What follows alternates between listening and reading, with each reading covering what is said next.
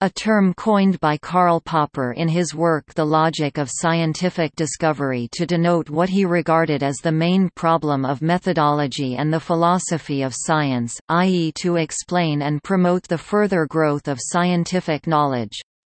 To this purpose, Popper advocated his theory of falsifiability, testability and testing.